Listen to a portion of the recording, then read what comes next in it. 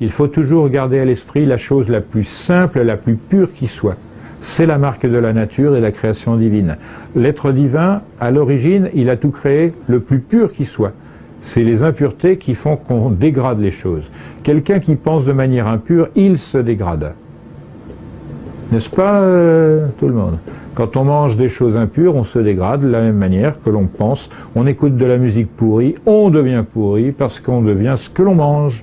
Que ce soit sous le point de vue alimentaire, psychologique, culturel, c'est pareil.